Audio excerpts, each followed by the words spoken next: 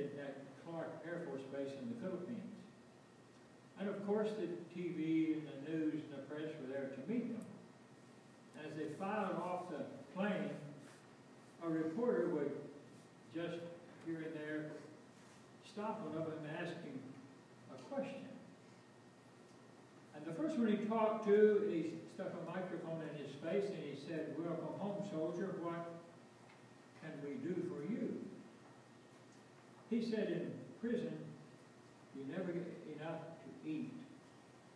And I would like to be able to eat until I'm not hungry anymore.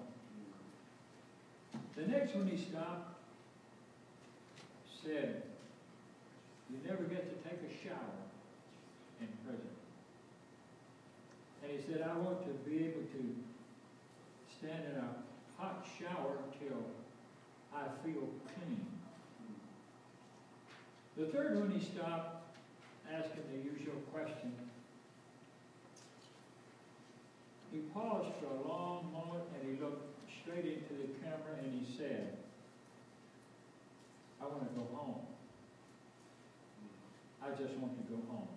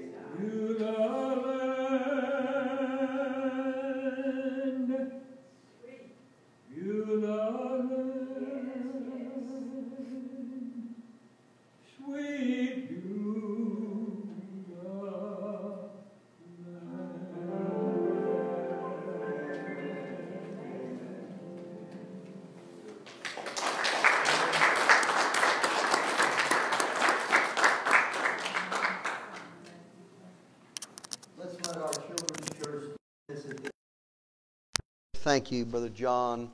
What a joy to have John sing these songs. You know, that, that song, Beulah Land, has become one of my favorites over the years.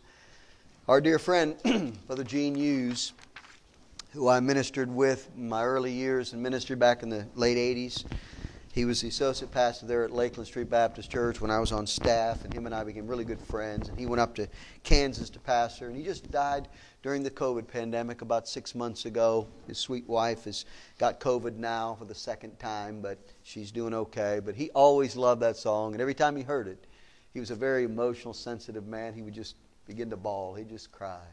It's such a beautiful song. Thank you for that, John. Well, take your Bibles to Matthew chapter 4. When you find your place, stand with me. Matthew chapter 4. Let's read some together. Matthew chapter number 4, and then we're going to read some verses out of the book of Acts again. And I want to speak to you on the subject getting out of our comfort zones.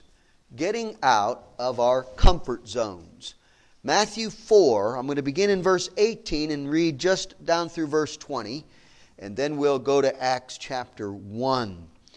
The Bible says in Matthew 4:18, "And Jesus, walking by the sea of Galilee, saw two brethren, Simon called Peter and Andrew his brother, casting a net into the sea, for they were fishers or fishermen. And he saith unto them, Follow me, and I will make you fishers of men.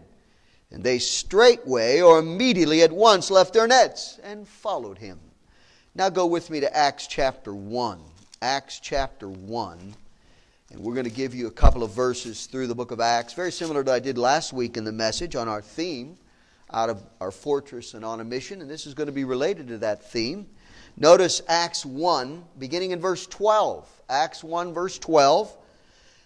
Then, or, uh, yeah, then returned they unto Jerusalem from the mount of uh, called Olivet, which is from Jerusalem a Sabbath day's journey. And when they were come in, they went up into an upper room where abode both Peter and James and John and Andrew, Philip and Thomas, Bartholomew and Matthew, James the son of Alphaeus and Simon Zelotes, and Judas the brother of James. These all continued with one accord in prayer and supplication with the women and Mary, the mother of Jesus, and with his brethren. Chapter 2, verse 1 now again, chapter 2, verse 1. And when the day of Pentecost was fully come, they were all with one accord in one place.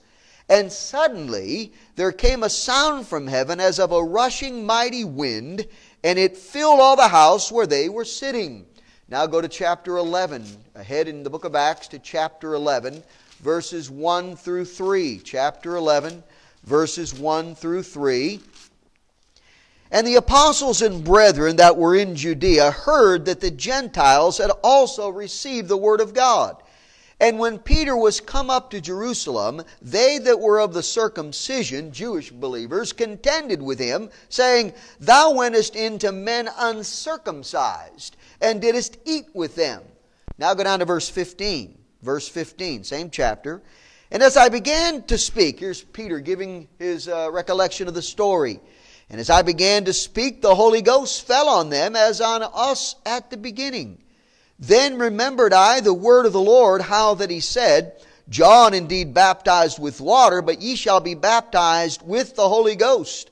For as much then as God gave them the like gift as he did unto us, who believed on the Lord Jesus, who or what was I that I could withstand God? When they heard these things, they held their peace and glorified God, saying, Then hath God also to the Gentiles granted repentance unto life. Now, chapter number 8, back to chapter 8. We'll finish with this one verse. We've read it a few times, but it's such a pivotal verse for our subject again. Verse 4, chapter 8 of in verse 4 of the book of Acts. Therefore, they that were scattered abroad went everywhere preaching the word. Let's pray. God and Father, we humble ourselves before you and ask, dear God, that you would help us, especially in this difficult subject and task. Lord, we're all people of comfort.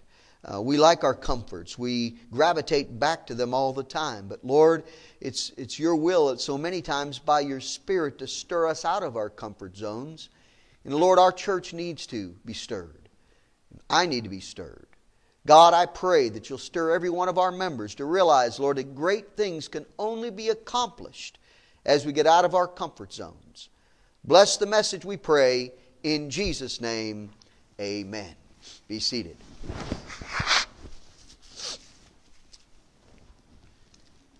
Our nature as human beings is to seek comfort, ease, and luxury, security. We speak of comfort foods and creature comforts. There's a chain of hotels called Comfort Inns. How many words, think about, that go along with the word comfort? We think of being comfortable, comforting, comforted, a comforter. So many synonyms are saying the same thing as the word comfort. Words like ease and solace and soothe and contentment, amenities, relaxation, euphoria, pleasure, and we can go on and on. Comfort, in and of itself, is not a bad word and it's not a wrong goal. Think about it. To comfort someone or to be comforted by someone is one of the greatest joys in life. One of the very titles for God's precious Holy Spirit, the third person of the triune Godhead, is called the Comforter, the one who comes beside and, and helps us. But in man's fallen state, to desire comfort often becomes selfish and destructive. Laziness, greed, thinking that we'll find happiness in things often results in seeking comfort. So, God's approach often to fallen mankind is to stir us out of our comfort zones. Think about how God did this so many times. When Adam and Eve sinned in the garden, what did God do? He cast them out of the garden. That was their comfort place, that was their home. They could not get back in after they left. I think of Moses, who during the second 40 years of his life, he's out in the Midianite desert. He's married, he's got two sons. I think he's living a comfortable life, taking care of his father in law's sheep. He's living a quiet life, no worries. And all of a sudden, one day, God appears to him in a burning bush and says, I want you to go lead my people out of Egypt. Boy, that was out of his comfort zone. I think of David, the young man, probably a teenager at the time, who's been out uh, probably for several years in charge of his father Jesse's sheep. He's playing his harp and singing songs out with the sheep out in the fields. And all of a sudden, one day, he's startled out of his, his comfort zone to say, Come, come see the prophet Samuel. Someone's going to be anointed king. From the time he was anointed king that day, his life would never be the same. I see that in the text I read for you in Matthew 4 and in the book of Acts. Here one day, Jesus comes by the Sea of Galilee and sees these brothers, Peter and Andrew, and the text goes on to say the same for James and John. They had been fishermen. That's what they did for a living. That's what they were comfortable with. They were out taking care of their nets and getting ready to go out again the next day, uh, if you will. But all of a sudden, Jesus says, Come follow me. And they left their nets, it says, and immediately went and followed him. All through the book of Acts, as I went through and saw with you these texts. First, the, the early church, 120 are meeting up in the upper room for prayer. And I mean, they're secluded. They're still afraid of their, for their lives and they're keeping themselves in secret.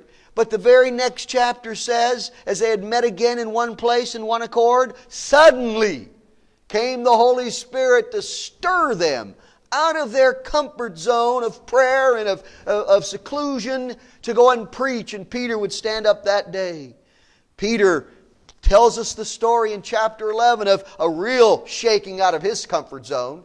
Remember, the early church, made up of all Jews at first, did never understand or believe that Gentiles would be added into God's plan, not only for salvation, but for service in his churches. And so, Peter goes to the house of Cornelius. You know the whole story in chapter 10. Well, when word gets back to the church at Jerusalem that he had went into the home of a Gentile, a Roman centurion, if you will, worse than anything, they are upset. They're, they're beside themselves. And they say, Tell us what happened. How could you have done this?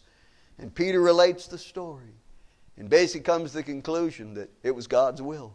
Stirred them out of their comfort zone to reach the Gentiles. And then that climactic verse I read again in chapter 8 that always amazes me. After the church had spent those first few years, it appears, just in Jerusalem, they wouldn't go outside of the city.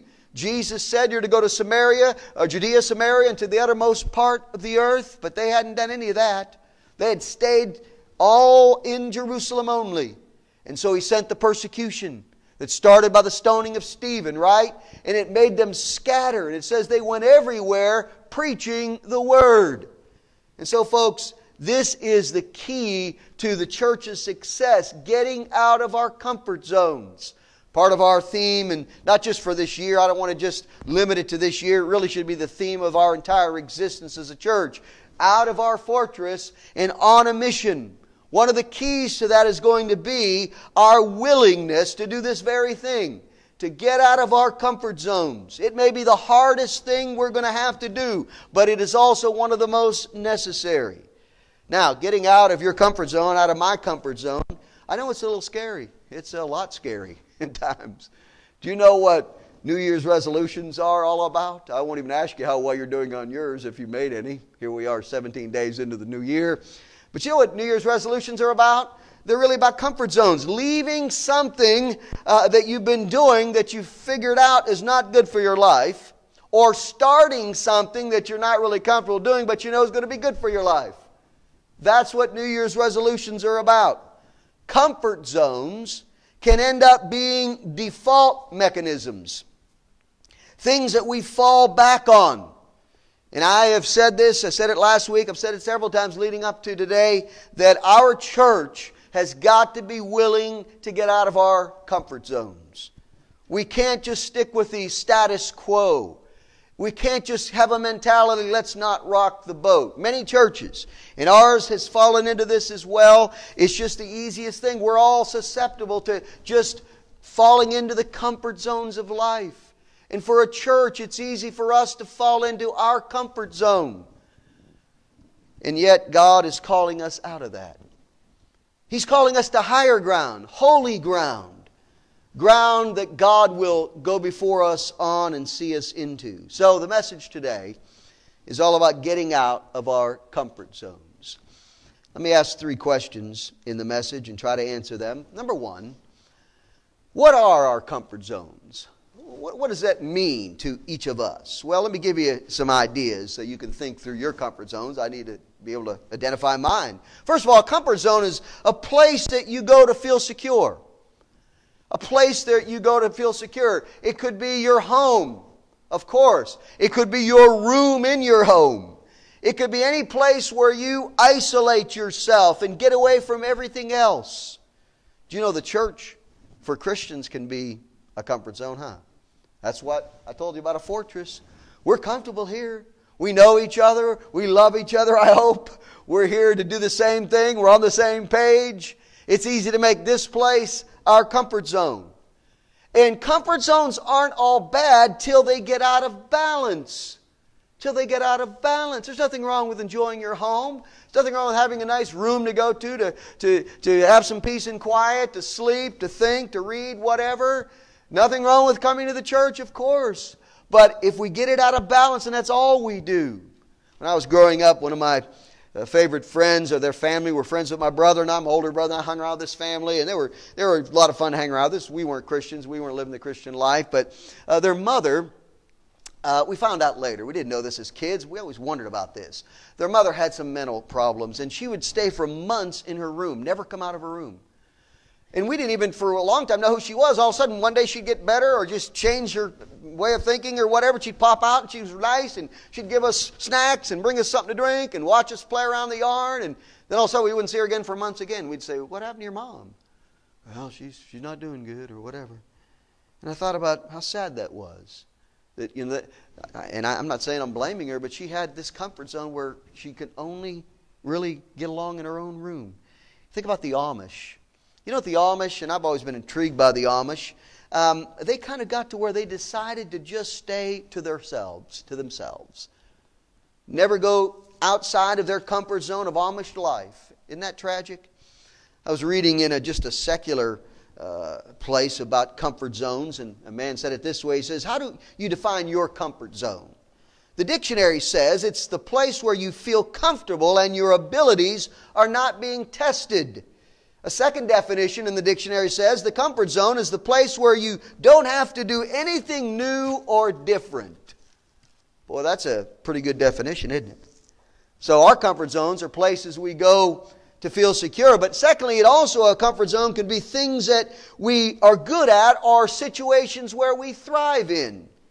Things that we're good at or situations where we thrive in. Think about if you have certain talents or abilities or experience in something. This becomes your comfort zone.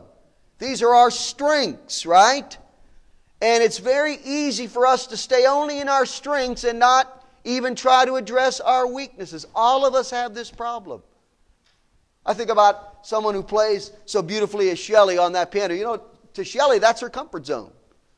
She's good on that piano. She's, you know, I think of somebody like Lou baking. You know, Lou, that's her comfort zone. Lou, I mean, she's in her element when she's baking or cooking. That's, that's her element.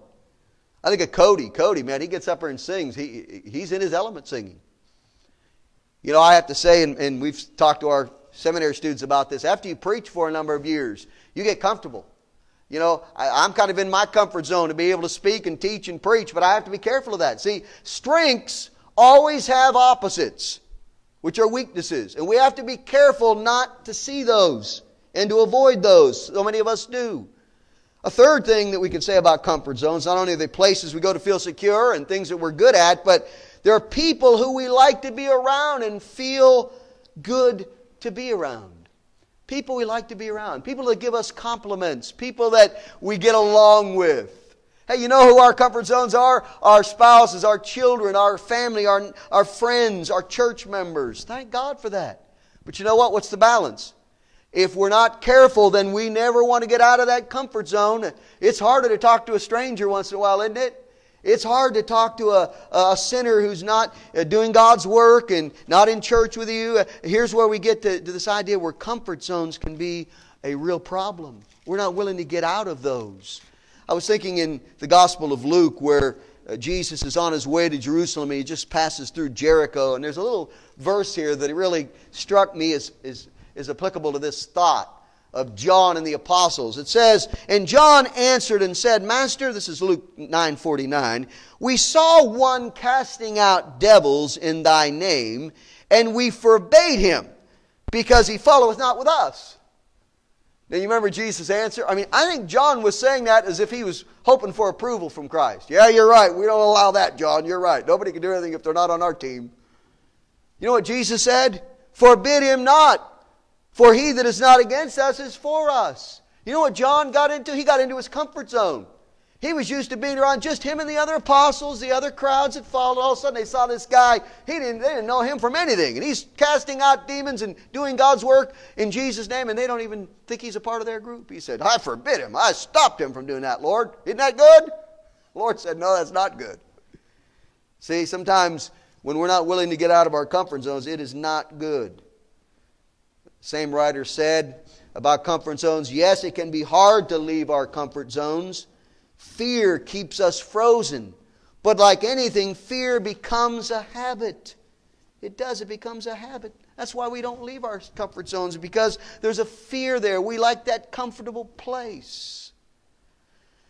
Well, let me move on. So we, we kind of described, I hope you get this, what our comfort zones are. Now we got to get further into this. Number two, why is it necessary to sometimes leave our, our comfort zones?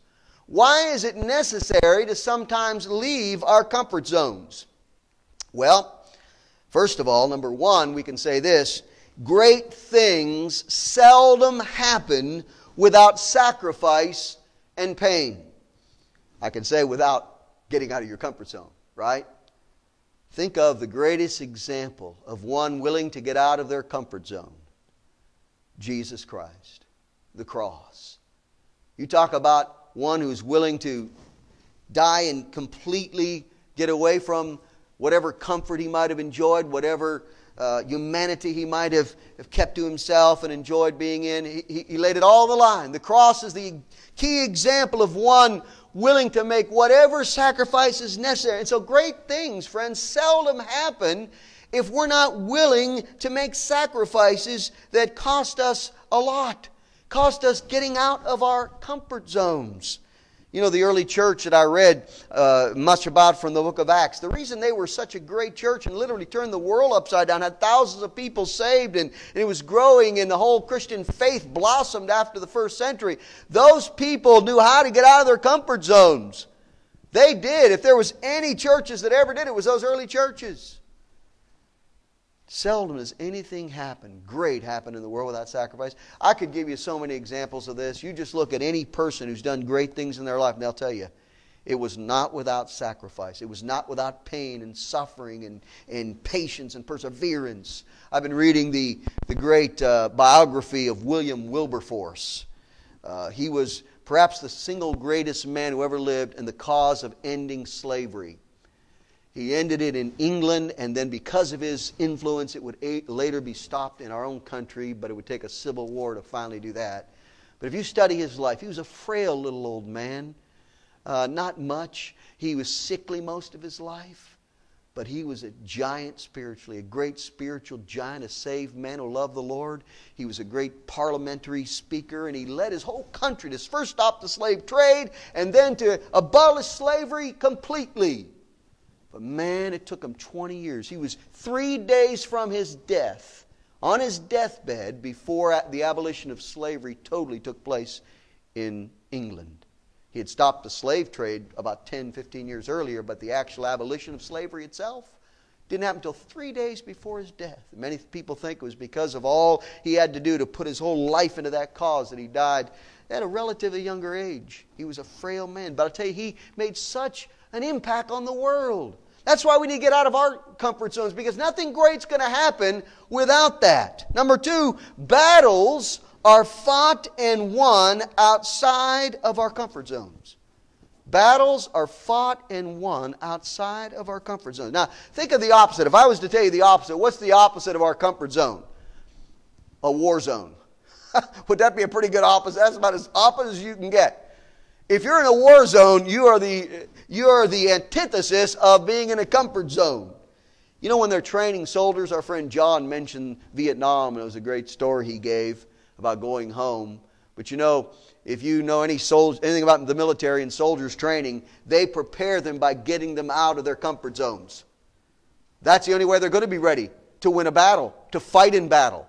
My dad was in the Marines, told us about uh, boot camp and, and all the crazy things they made them do in boot camp. You know what they're trying to do? Get them totally away from the comforts they were used to living with. Because you get on that foreign field, you go to Vietnam or Korea or wherever it is, you're not going to have those comforts any longer. See, if battles are fought and battles are won, it's by people who are willing and can adapt to getting out of their comfort zones. Our Lord was tempted in the wilderness for 40 days and 40 nights before the devil really came to him. He had no food or water. You talk about getting out of your comfort zones. No food or water, 40 days. And the first temptation, as you can imagine, the devil in his so called wisdom, uh, he's, he's not dumb. He tempted him to turn those stones into bread. Right? Out of his comfort zone at maybe a weakest human moment that he could be. And yet he passed the test. He understood what it was to be outside of his comfort zones. Number three, I could say another reason why it's necessary to sometimes get out of our comfort zones is God calls us. God leads us out of our comfort zones. Really, when you think this thing through, and let me give you a couple of thoughts here. I was thinking this through during the message, working it up this week. This is really where God majors. This is one of His greatest works He does is He gets us out of our comfort zones at different times and different levels of our lives. First of all, salvation itself, being saved, is taking you out of your comfort zone. That's what repentance is. When Jesus said, Repent ye and believe the gospel, there's no repentance without dealing with your sins and being broken over your sins. That's getting out of your comfort zones. Getting out of doing and being involved in those things that you just did like second nature, but they were sinful and wicked and against God. He tells you to repent of them. That's beginning of getting out of our comfort zones, even to come to Christ. And then in service to the Lord, He tells us, hey, follow me, like He told the apostles. That demands surrender. Surrender to Him, putting Him first. Following Him means I can't follow what I want to do. My dreams and my goals are secondary. His have to be first. Seek ye first the kingdom of God and his righteousness, and all these things shall be added unto you, he said. Hey, that's getting out of your comfort zone. Sanctification, the very process by which God is maturing us and making us more like his Son and making us holy. It demands suffering. There's nobody who's ever been made holy without suffering through that process. Probably the greatest example of a human being we can talk about that did this was the great apostle Paul in 2 Corinthians 12, in the end of verse 9, he said, after asking God three times to take away the thorn in the, in the flesh that he had, he said, Most gladly, therefore, will I rather glory in my infirmities, that the power of Christ may rest upon me. Therefore, I take pleasure in infirmities, in reproaches, in necessities, in persecutions, in distresses, for Christ's sake. For when I am weak, then I am strong. The greatest man ever born of a woman was John the Baptist. That's Jesus' words, not mine. Jesus said that, right? Was there ever a man who, who lived without the comforts of this life like John the Baptist did? His life is an amazing lesson of living outside your comfort zone. At some point in his life, I've always been intrigued. I hope one day to sit down and talk with John for about a thousand years and talk to him about his life. So much we don't know. But at some point he went out in the wilderness. And the Bible says in just one climactic verse in Luke 180, and the child John grew and waxed or became strong in spirit and was in the deserts till the day of his showing unto Israel. Wow. I don't know how long he was out there in the desert, but I'll tell you what, it wasn't comfortable. When they finally saw him on the scene, he was wearing camel skins, eating honey and wild, uh, wild honey and locust. I mean, you talk about, I bet he had hair all over him. He was a hairy man. He came out of nowhere. But I'll tell you, when he came, he literally turned his world upside down. People came out from everywhere to hear him preach. And he prepared the way of the Lord. Nothing great happens. And God calls people from their comfort zones for this reason. One other final thought to add, and this is so important to you and I. Do you know the only way you and I can learn certain lessons in the Christian life is going through suffering, getting out of our comfort zones? Isn't Job a lesson of that? Job teaches us that probably more than anybody else. Job, who, who went through that terrible trial of losing all he had and his ten children, losing his own health to the point of death, and yet without that, he couldn't have learned the lessons that he finally learns by the end of his book. You know, one of the reasons why this World War II generation, don't, we don't have a whole lot of them left now, but uh, Brother Goldman was one of those who passed away not long ago. But you know why that World War II generation was so great? Because they learned how to live outside the comfort zones of life. My grandparents and great grandparents went through not only World War II, but before that, the Great Depression. Learned to do without anything, learned to do with very little comfort, creature comforts of life. And yet they became one of the greatest generations, perhaps, in the history of the world. All that they were able to do. Well, that brings me to number three. So, talk about what are our comfort zones? Why is it necessary to sometimes leave our comfort zones. And number three, now, our final point will be this How do we get out of our comfort zones? How do we get out of our comfort zones?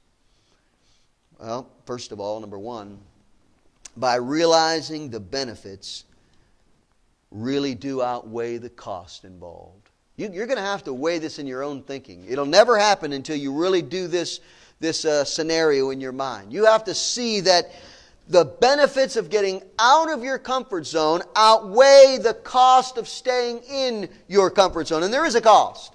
Every time we stay in comfort zones and avoid doing what we should do for Christ, we, what we should do in our family, our job, whatever, there's a price we're paying. Paul said it so beautifully in Philippians 3.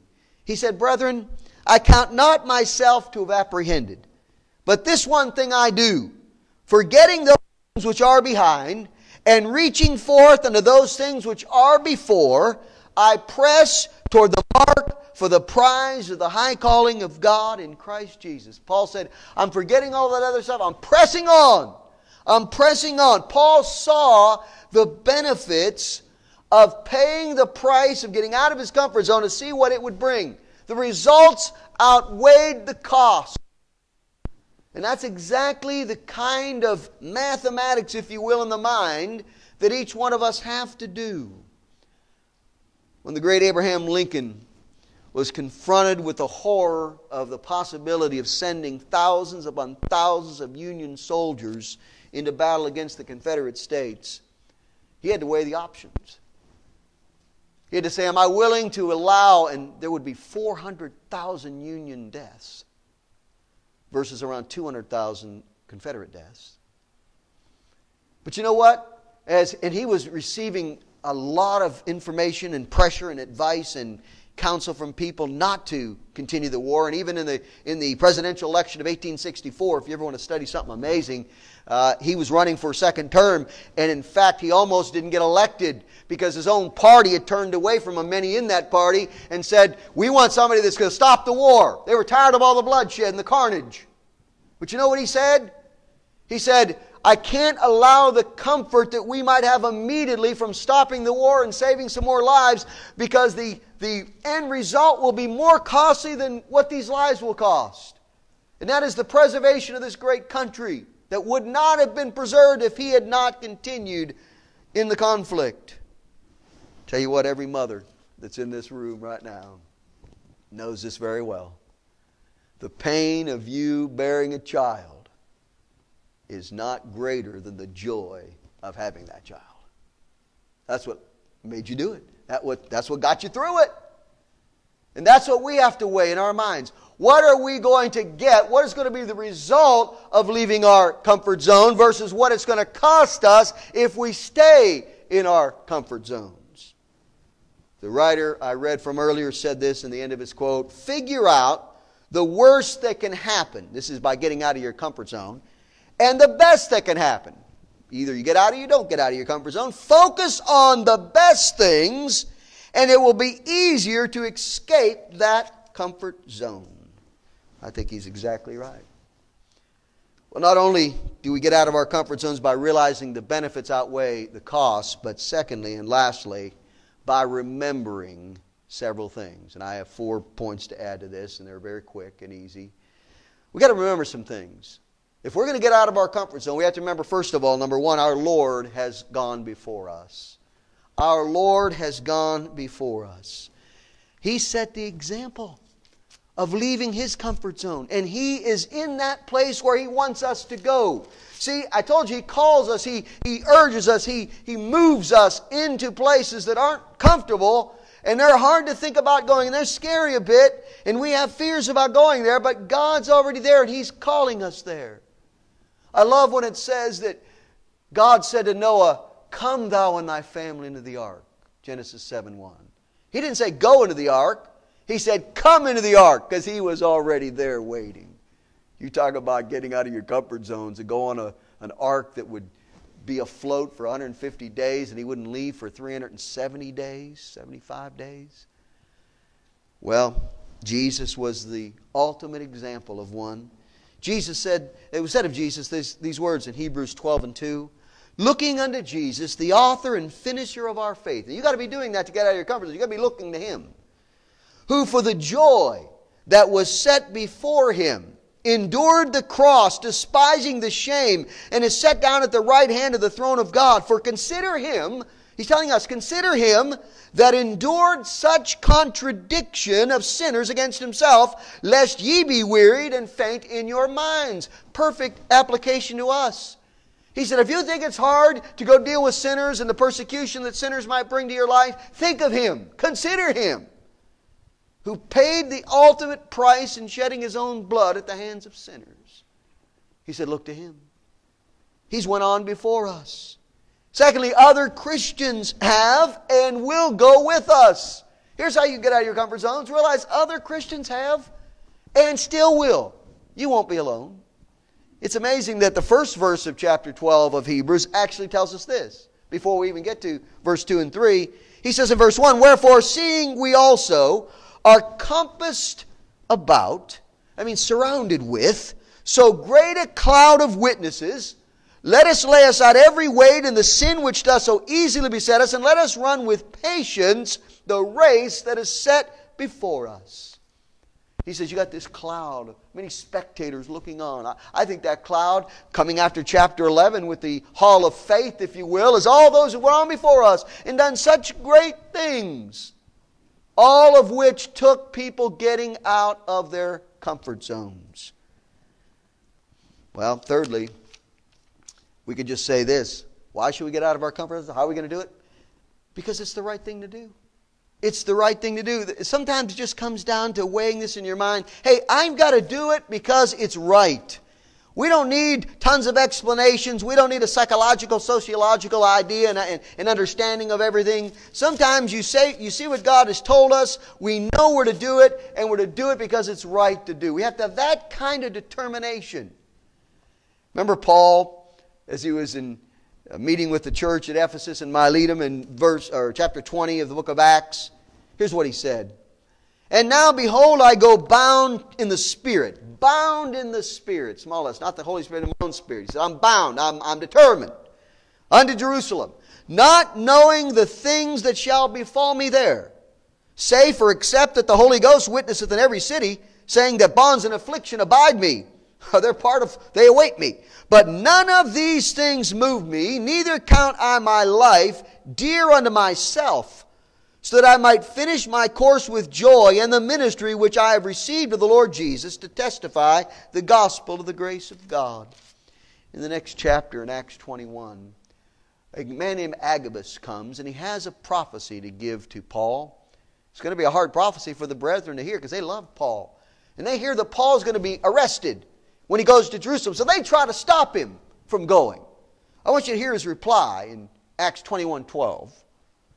And when he had heard these things, Paul, when we had heard these things, both we and they of that place besought him, Paul, not to go up to Jerusalem. They said, Hey, Agabus told us you're going to be arrested. Just don't go, Paul. We can't let you go, Paul. Then Paul answered, What mean ye to weep and to break mine heart? For I am ready not to be bound only, but also to die at Jerusalem for the name of the Lord Jesus. And when he would not be persuaded, we ceased saying, The will of the Lord be done. I'll tell you, folks, sometimes you just got to get to the place where you just say, It's the right thing to do. You got to do it no matter what the cost involved. The Bible says of Jesus in Luke 9 51 that he and it came to pass when the time was come that he should be received up, he steadfastly set his face to go up to Jerusalem. He knew what was waiting for him there the cross, all the suffering and shame and agony. You know, I love to read biographies. one of the reasons I love biographies, especially Christian biographies, is it, it, it, it encourages me and it, it, it motivates me to realize so much has happened before me and so many people have paid such a price and they had that determination and that perseverance. And they were willing to leave whatever comfort zones they had to do great things for God. And that brings me to my last point of why and how we can do it. Because we can't ultimately fail. We cannot ultimately fail. You know, anybody can put up with a certain amount of suffering if they know it won't last forever and they know something good's going to come of it. That's in our nature, every one of us. If you have to do something hard, as long as you know there's an end to it, and you know it's going to be great when you get to the end, all of us can put up with a lot. And you know what we need to remember? Getting out of our comfort zones is hey, we can't fail ultimately.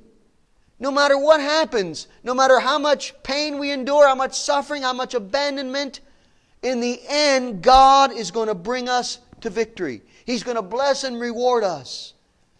If we know it's going to cease and the reward will come, then we just got to plug on and do it. How did those martyrs do it? How did all those millions of martyrs whose stories are just thrilling and just unbelievable? How'd they do it? You know how they did it? They knew that it wouldn't last forever. The flames that only last so long and their spirit would leave their body. That drowning going to be so long before they went to be with the Lord. And so they did it. Now, Worst case scenario. Let me give you worst case scenario about our mission. Out of our fortress on a mission. Here's the worst case scenario. even if you and I get to the point where we think we have failed in this mission. And that will be up to your conclusion and mine. That'll be an opinionated conclusion. But you know what I can tell you? I can guarantee you this. No matter how much we might think we have failed, we will not have failed. No matter what the numbers, no matter what the changes, here's why I know we won't fail. Because along the way, the things that we will be doing, God will be seeing. He will hear the prayers we pray. He'll know the effort we make. He'll see the sacrifices we're going to make and have to make and He will surely reward us in the end, no matter what outward accomplishments we think will come. Paul said it this way. He said in Romans 8 and 17, And if children, then heirs, heirs of God, and joint heirs with Christ. Now he starts it this way. He says, Hey, we're joint heirs with Christ. If so be, you got to remember you're a joint heir with Christ because of what he says now. If so be that we suffer with him, that we may also be glorified together. For I reckon that the sufferings of this present time are not worthy to be compared with the glory which shall, shall be revealed in us. Let me end on a good note. I want to end with a balance, okay? I've entitled the message Getting Out of Our Comfort Zones, but I didn't entitle the message Staying Out of Our Comfort Zones. Aren't you glad that even when God leads us out of our comfort zones, He doesn't make us stay in those places all the time. It's not going to be forever, and it won't even be long periods of time in this life. Aren't you glad for the oases of life that even in the midst of leaving some of your comfort zones and my comfort zones, God will let us come back to family, let us come back to enjoying church and friends and we'll have the beautiful warmth of God's presence even as we go out on a mission and give up our comfort zones, realizing that one day, ultimately, we're going to be more than comfortable when we sit with the Lord in His new kingdom. In heaven now and on earth to be, we're going to live with the Lord forever. I challenge you. Consider your comforts. Consider how you can get out of those comforts and how God will use you when you do. Let's pray. Heads are bowed and eyes are closed.